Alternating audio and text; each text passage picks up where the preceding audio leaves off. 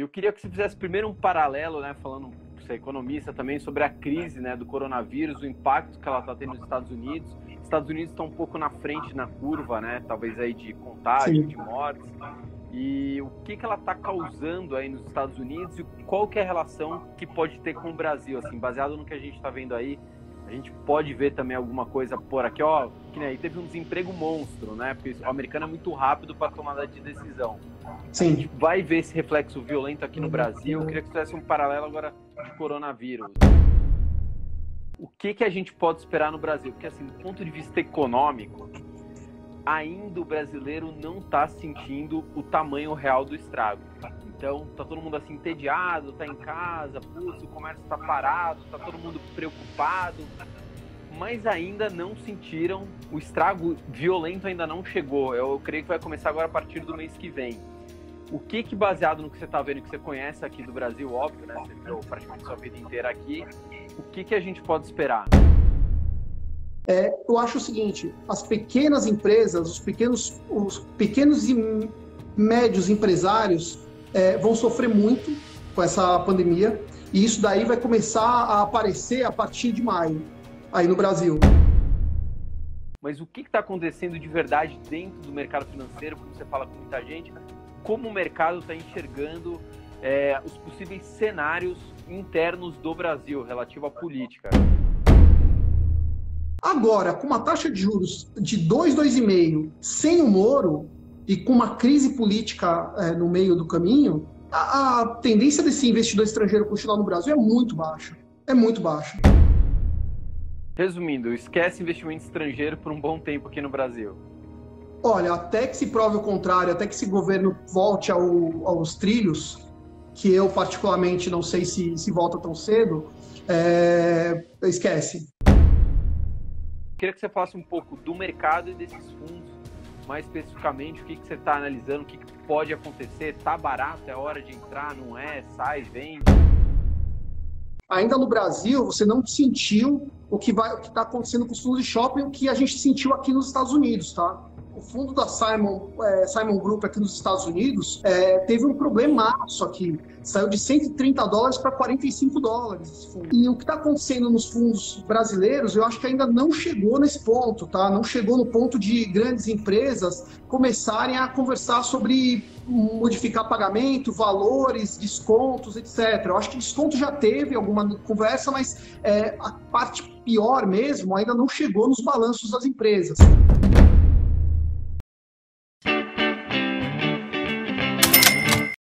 Agora, Théo, tá beleza? Agora eu tô conseguindo te ver bem e eu acho que você consegue me ver também, né? Excelente, Théo. Posso fazer uma breve introdução de quem é você? Por favor. Eu costumo falar, você vai negar, mas eu sei, eu falo que é o cara que mais entende de fundos imobiliários no país. Eu acho que é a única pessoa do mercado financeiro que eu conheço que inventou um produto financeiro. Por exemplo, eu não conheço quem inventou o CDB, a LCI, a LCA, mas eu conheço o cara que reinventou os fundos imobiliários e que fez o primeiro fundo imobiliário de contrato ativo. Estou mentindo ou não?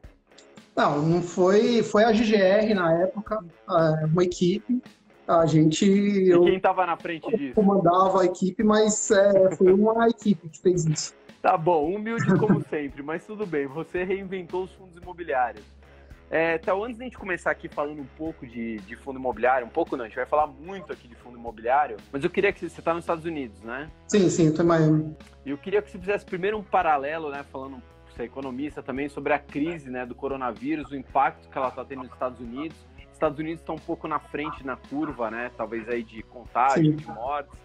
E o que, que ela está causando aí nos Estados Unidos e qual que é a relação que pode ter com o Brasil, assim, baseado no que a gente está vendo aí, a gente pode ver também alguma coisa por aqui, ó, que né, aí teve um desemprego monstro, né? Porque o americano é muito rápido para tomada de decisão. Sim. A gente vai ver esse reflexo violento aqui no Brasil. Eu queria que fizesse um paralelo agora de coronavírus. Ó, Fabrício, bom, antes de mais nada, obrigado aí pela, pelo convite. É, acho Imagina. bem bacana aí a gente expor a situação americana e brasileira, principalmente nesse cenário é, tão complicado e principalmente uhum. também para falar sobre um, um, produto específico que é, são os fundos imobiliários. Tá? Uhum. É, os fundos imobiliários no Brasil e nos Estados Unidos são bem diferentes, mas depois a gente entra mais nesse, nesse mérito. É, em relação à crise, é, de uma maneira geral, os Estados Unidos têm muito mais estrutura não só é, infraestrutura, como principalmente a parte governamental, né, ajuda governamental. É, aqui a gente tem uma, uma estrutura de ajuda, de ajuda ao pessoal que está empregado, que está perdendo emprego, as pequenas e médias empresas. É, é muito grande esse, esse, tipo de ajuda. E é, assim, o, o, que eu considero que aconteceu aqui nesse, nesse período foi. A gente já vinha de uma crise de 2008, né, no, no mercado em geral, e de 2008 para cá foi injetado aqui nos Estados Unidos muito dinheiro. Sempre uhum. o governo injetou muito dinheiro na economia. Então a gente estava com a economia super tranquila, é, com uma taxa de juros relativamente baixa, não era tão, tão alta é, nos parâmetros americanos, e é, o mercado estava consumindo consumindo, consumindo, e a bolsa não parava de subir é, e pegou realmente todo mundo, o mercado, o mundo inteiro de calça curta. É, essa é a uhum. palavra real. É, não, não conheço ninguém que se protegeu contra o coronavírus.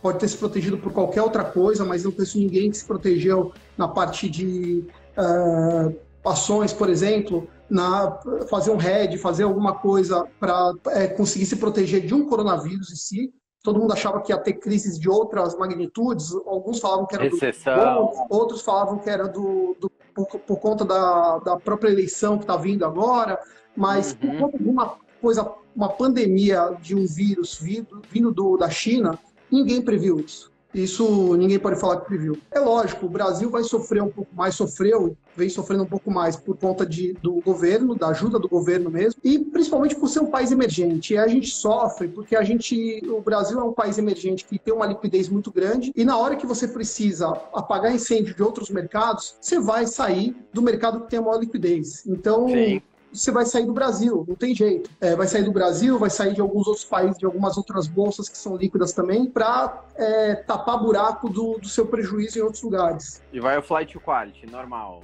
Aí é o flight quality de investidor estrangeiro. A gente está vendo o dólar nesse, nas quase seis reais, aí 5,60 é, por conta disso também. Tem uma ajuda aí do governo, né? Uma, uma ajuda. Já vai entrar nisso. Oi? Não, já vai entrar nesse ponto também. É, a gente vai, a gente tem uma ajuda aí do governo, uma, uma ajuda negativa, né, do governo com esse dólar também, mas é, a gente tem uma ajuda grande, a principal reação do, do, investidor realmente em relação à pandemia foi sair do Brasil e ir para voltar para os Estados Unidos, voltar para o seu país de origem. O que, que você, baseado no que você está vendo nos Estados Unidos, que os Estados Unidos se antecipa em tudo, né, acostumado com grandes tragédias, né, o americano, tragédias naturais, guerra, enfim, americano é muito prático, né? As leis também facilitam. O que, que a gente pode esperar no Brasil? Porque, assim, do ponto de vista econômico, ainda o brasileiro não está sentindo o tamanho real do estrago. Então, tá todo mundo assim entediado, tá em casa, putz, o comércio está parado, tá todo mundo preocupado, mas ainda não sentiram o estrago violento ainda não chegou. Eu, eu creio que vai começar agora a partir do mês que vem. O que que baseado no que você está vendo, que você conhece aqui do Brasil, óbvio, né? Você viveu praticamente sua vida inteira aqui.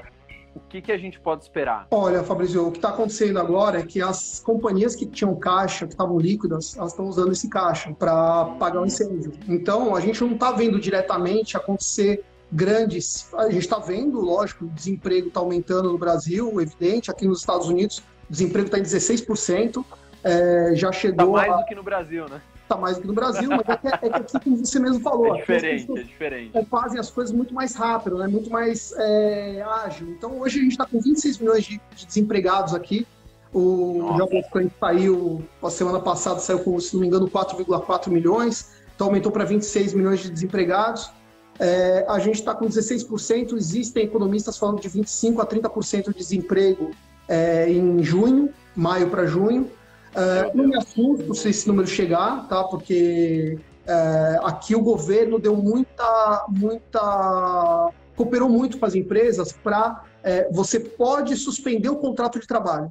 E você suspendendo o contrato de trabalho, você é, desonera a sua empresa, o pequeno empresário, no caso, né, é desonerado, e essa pessoa que fica desempregada com o contrato suspenso, ela pode buscar alguma, alguma ajuda no governo também. Então, você, o governo ajudou as micro e pequenas empresas e até as grandes também, tá? É, se não me engano, você tem que ter o faturamento, a, a, ajuda maior que tem aqui é de um faturamento máximo de 10 milhões de dólares por ano. Uhum. Uma empresa de até 500 empregados, 500 funcionários. Se não me engano, tá? Eu não tenho esse, esse número de cabeça, mas é alguma coisa perto disso. E você consegue suspender o contrato dos seus funcionários, de alguns funcionários, e eles vão uhum. receber auxílio no governo. A grande diferença é essa. No Brasil, você recebeu é, um cheque de 600 reais para o funcionário, as empresas estão recebendo algum auxílio, sim, mas são auxílios muito pontuais em relação ao funcionário, não à empresa. E isso daí vai acabar chegando.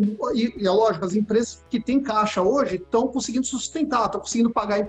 O imposto não, porque o imposto o governo não conseguiu postergar esses impostos, mas tem aluguel para pagar, tem algum resquício de funcionário, tem fundo de garantia que ele precisa pagar né, para o funcionário é, que está mandando embora, enfim. É, eu acho o seguinte: as pequenas empresas, os pequenos, os pequenos e médios empresários é, vão sofrer muito com essa pandemia, e isso daí vai começar a aparecer a partir de maio, aí no Brasil. É, porque é abril, você teve abril um lockdown, agora o pessoal começou a ver que se deixar fechado por muito tempo, vai ter um, um problema muito mais sério e começou a reabrir as coisas aos poucos. É óbvio que eu não sou médico também, mas eu estou muito preocupado com essa pandemia. Aqui na Flórida, é, algumas praias, eu acho que chegou essa notícia aí no Brasil, porque minha Fecharam. mãe me ligou outro dia, outro dia não, me ligou hoje, para falar que ela ouviu falar que as praias da Flórida estão sendo reabertas. Estão sendo reabertas. Distância, né? Aos poucos estão sendo reabertas, mas, mas me preocupa. Essa reabertura das praias da Flórida me preocupa. Reabriram a parte do norte, né? Jacksonville já reabriu as praias é, e vai descendo.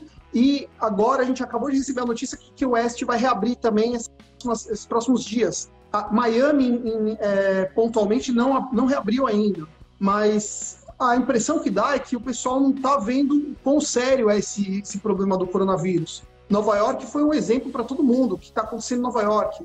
Então, o Brasil hoje teve 300 mortes nos últimos 20, nas últimas 24 horas. Se você conseguir me corrigir o número, é entre 300 e 300. Sim. É 319, alguma coisa assim. É. Então, o número já está começando a ficar muito grande aí no Brasil também e assusta isso assusta muito. Então, poxa, a gente é, aí a gente vai começar a entrar um pouco no meu mundo, né? Que eu vejo muito para a parte imobiliária. Sim. Os shoppings, cara, os shoppings estão completamente fechados. É, fechou aqui, fechou no Brasil, fechou em tudo quanto é lugar. E aí, consequências vão sendo maiores do que a gente está imaginando. É, na semana passada, eu fiquei sabendo que a BR Malls conseguiu uma liminar para não pagar o take or pay do, da, da luz, da energia elétrica. Uhum. Para quem conhece esse mercado, o mercado, mercado livre de energia elétrica, é seguinte: você paga 10% fixo do seu consumo 10, 20% fixo do seu consumo e você vai receber todo mês. Esses 10, 20% é só para ligar a, a luz no seu para garantir para garantir e você paga. Simplesmente eles não consumiram nem 10% da energia naquele num determinado mês e eles conseguiram uma liminar de não pagar esse mínimo. Isso é muito ruim para a economia de um modo geral. Isso é muito ruim. Então, pô, a BR está se protegendo, assim como deve estar tá, é, olhando também para alguns lojistas, dando algum desconto no, no aluguel e tudo mais, mas isso vai ser uma cadeia que vai chegar um momento que alguém vai quebrar. Alguém, alguns, muitos vão quebrar. Esse é o ponto. Sim, vai ter uma, é, vai ter uma quebradeira generalizada. O pessoal às vezes a gente põe uns vídeos, cara, tá pessimista, não sei o que, às vezes até com a situação política do país que a gente já vai entrar nisso também. Para de pessimismo, fala, gente, é, emoção, amor e ódio no mercado financeiro só atrapalha a sua visão. Não é, serve para absolutamente nada. Você não tem que ter amor nem nem ódio por nada. Você tem que olhar friamente o que está acontecendo e tentar enxergar quais são os possíveis cenários. Então, se um monte de gente está falando que as coisas vão piorar, é porque infelizmente elas vão piorar. Não é porque as pessoas são pessimistas. Sim, Pelo sim. contrário, a gente gosta de dar notícia positiva. Agora já vamos entrar um pouco aqui na questão política Brasil. Você também deve estar acompanhando daí. Fala com muita gente também do mercado. A gente viu aí, caiu o Moro. É, começou um papo de impeachment, enfim, hoje o Guedes falou, não, tô junto do governo, enfim mas o que está acontecendo de verdade dentro do mercado financeiro, como você fala com muita gente, como o mercado está enxergando é, os possíveis cenários internos do Brasil relativo à política. Pô, Fabrício, é um negócio muito. O que está acontecendo agora no Brasil, eu acho que é. Eu, eu nunca vi um negócio desse, eu nunca vi a ímpar, porque, assim, é... o Bolsonaro não precisava ter colocado o Moro lá dentro. Quando ele, foi, quando ele ganhou a eleição, ele foi lá e escolheu o Moro. para ministro da Justiça. O Moro aceitou, abriu mão de 22 uhum. anos de magistratura dele e aceitou e foi. E ele foi como um, um pilar principal do, do, governo, ele e o Guedes, Paulo Guedes. Uhum. A saída dele é a saída de um pilar, de um dos pilares principais do governo e perde muito apoio com isso, muito apoio popular, muito apoio, eu não diria político, mas principalmente muito apoio popular. O Moro não é tão bem visto pelos políticos, a gente sabe bem por quê. Mas é, eu acho que o principal disso para o mercado é o Guedes. Se o Paulo Guedes não sair do, do governo, eu acho que as coisas podem ficar um pouco mais tranquilas. Mas. É... Hoje ele falou que fica, né? Hoje ele assim, tá, falou que fica, mas você acha que o que, que, deve acontecer com a, com a situação? Você acha que deve perdurar? O Guedes realmente vai ficar? Ele está falando isso com um cenário agora de curtíssimo prazo? Que a gente já está vivendo uma crise atrás da outra, né? Corona, crise política. então, para Quais são os né? cenários que o mercado financeiro está traçando interno Olha, Brasil? O, o, bom, o mercado financeiro está tá muito é, apreensivo por conta do, do, coronavírus, principalmente. Tá? É, uhum. Então, veio vindo desde é, fevereiro, março para cá. É, esse, essa saída do Moro foi pontual, realmente bem pontual. É, na sexta-feira houve-se essa queda brutal da bolsa, a esticada do dólar por conta disso tudo. Hoje já recuperou, eu acompanhei a bolsa hoje, a, bolsa, o Sim. dólar, deu uma boa recuperada por conta dessa fala do Paulo Guedes. Eu acho que enquanto o Paulo Guedes estiver no, no governo, ele consegue segurar o país de uma maneira legal, uma maneira sustentável. É, eu só não acho que o Paulo Guedes consiga manter esse é, o foco por muito, muito tempo. Pelo, pelo seguinte, o, o Bolsonaro já, já mostrou que ele vai interferir nos ministérios. Então, e agora ele vai ter que se juntar com o Centrão. Ele está se juntando com o Centrão. E o Centrão vai começar a pitaco também. E isso é uma coisa que é muito prejudicial à economia de uma forma geral. A gente tem que lembrar que a gente não é uma economia tão sólida quanto os Estados Unidos, quanto uma Alemanha, quanto. A gente é um país emergente que tenta é, mostrar ao mundo que a gente é sério. Mas dessa forma, fica muito complicado você mostrar ao mundo que é sério. Agora pensa, eu sempre, eu sempre me coloco na posição de investidor estrangeiro entrando no Brasil.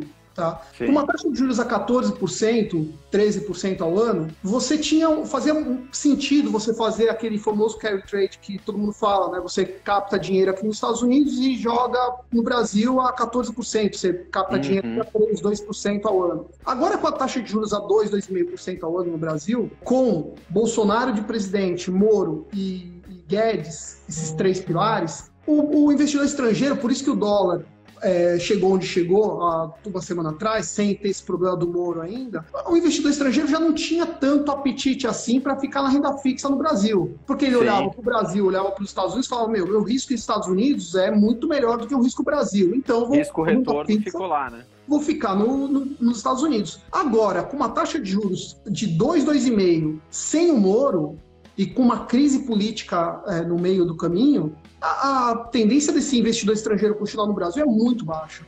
É muito baixa. Então, é, é, ah, mas tem muita oportunidade no mercado é, de ações brasileiro. Tem, mas tem muita oportunidade também aqui nos Estados Unidos. Então, se você pega, por exemplo, uma, o Itaú da vida, tá? O Itaú, poxa, caiu 30%, tá? Sim. Se você comprar no, no, no Brasil, o Itaú, você está correndo risco, é, os investidores estrangeiros, eu estou falando, tá? É, você está correndo risco cambial junto. Então é muito melhor você fazer é, comprar. Se você é um investidor estrangeiro, você compra aqui, concorda? Sim, Eu acho que não, não, faz muito sentido isso. Então é, você está expulsando, você está tá jogando para fora do, do, do, mercado brasileiro aquelas pessoas que, aqueles investidores estrangeiros que poderiam estar tá fomentando a economia. Resumindo, esquece investimento estrangeiro por um bom tempo aqui no Brasil. Olha, até que se prove o contrário, até que esse governo volte ao, aos trilhos, que eu particularmente não sei se, se volta tão cedo, é, esquece. E é assim que o americano também, obviamente, fala com o pessoal aí, né? Com o investidor americano, enfim.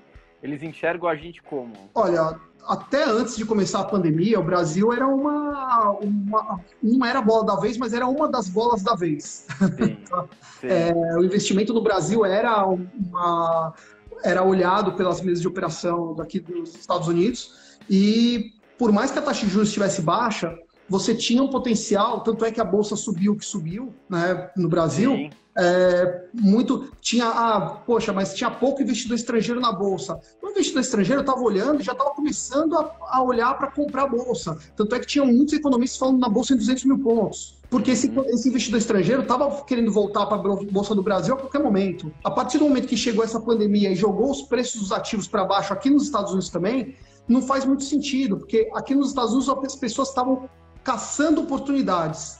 Era exatamente isso que eles estavam, eles estavam caçando oportunidades.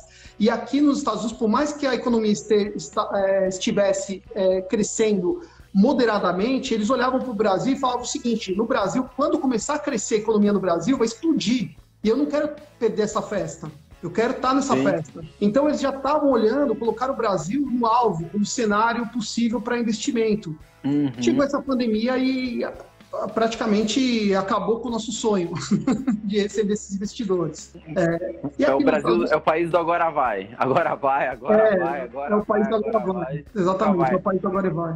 Theo, já vou entrar agora de, de cara em fundos imobiliários, que é o seu expertise.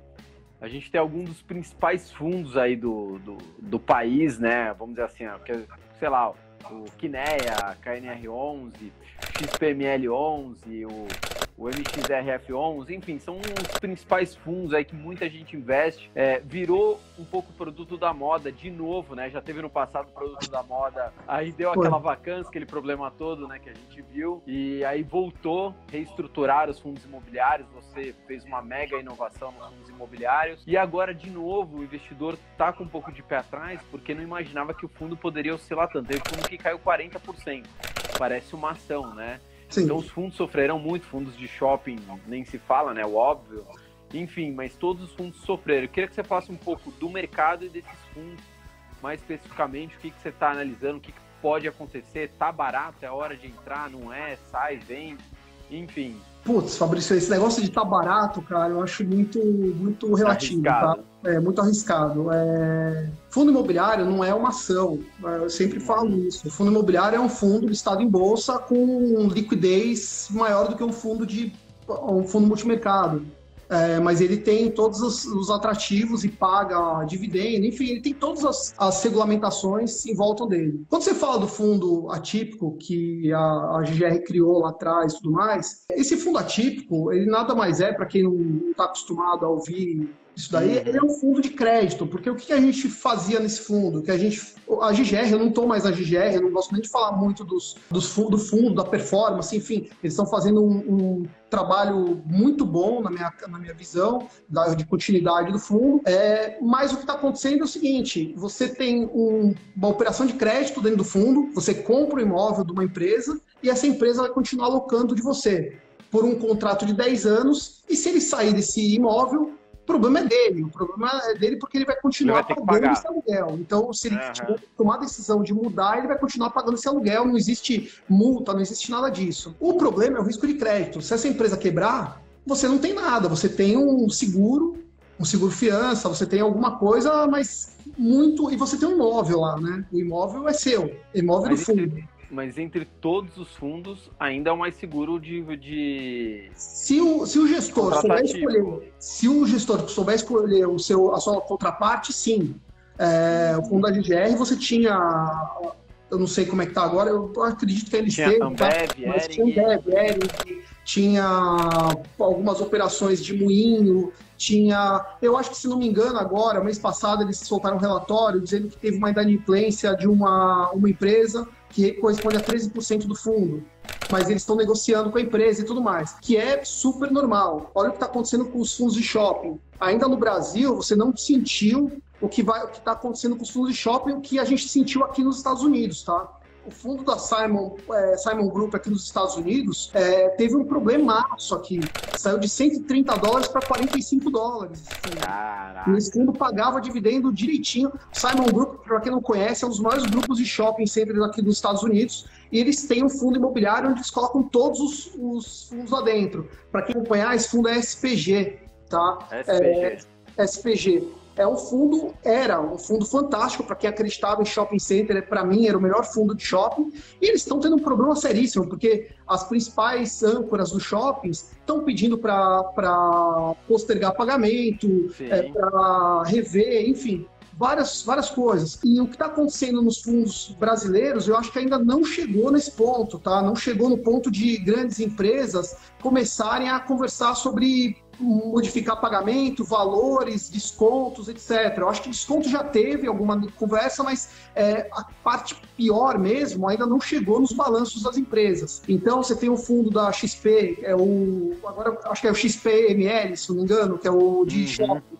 Esse daí é um fundo que eu, eu coloco no radar para eu sempre, sempre olho esse fundo para ver qual que é o, o, o que está acontecendo no mercado de shopping brasileiro, tá? Mercado de shopping, de uma maneira geral, para mim, tá? Ele vai se deteriorar um pouco, porque uma das coisas que aconteceu nessa pandemia foi um crescimento absurdo do e-commerce. Uhum. É, você está acompanhando aí no Brasil, Sim, igual. crescimento foi maior ainda, mas aqui nos Estados Unidos é um negócio absurdo. Assustador. A Amazon já... A Amazon a Amazon já tocava esse, esse projeto, esse projeto não, né? Esse cenário, nadava praticamente de braçada sozinho nesse, nesse cenário. E agora eu acho que outras empresas menores vão começar a entrar nesse cenário também. Então você vai ter. É que a Amazon do pequeno, o pequeno é, lojista, ele não tem como acessar a Amazon, porque a Amazon é muito caro. Para entrar, para um lojista entrar na Amazon, a Amazon cobra muito dinheiro. Então, esses pequenos lojistas vão ganhar é, market share fazendo propagandas é, na internet também, na parte de tecnologia, e vendendo e-commerce, fazendo o seu e-commerce. Não tem jeito. Então eu acredito muito nesse, nesse cenário de e-commerce para shoppings, tá? E principalmente a parte de, de refeição essa parte de refeição delivery, eu acho que vai ser a, a, o grande, a grande chave que vai virar nesse, nesse próximo é, pós-pandemia. Falando desses fundos que a gente está comentando, eu comentei aqui de fundo de shopping, falei de fundo de logística, falei de fundo de papel misturado com tijolo, enfim. Eu já falei aqui algumas vezes em live, em vídeo, que é o seguinte: a gente vai ter mudança de comportamento pós-coronavírus. A gente não vai ser o mesmo mundo, acho que isso está muito não, claro. Não. Aí eu fiquei pensando, as pessoas vão trabalhar tanto em escritório como trabalham hoje, uma parte vai para home office. Aí a gente entra em laje corporativa. Sim. As pessoas vão continuar indo tanto em shopping como vão hoje, ou elas vão gostar da praticidade de comprar é, porque fala, ah, vou lá passear, vou no cinema. As pessoas estão cada vez mais, menos indo no cinema, né? Tem Netflix, não sei. E em galpão logístico, se a gente tiver uma crise misturado interna com externa, vai diminuir o varejo, isso é óbvio. Será que vai ter tanto galpão necessitando? Então eu queria que você fizesse uma avaliação. Faz sentido essa minha linha de raciocínio? Vai sofrer ainda por uma mudança de comportamento os fundos imobiliários?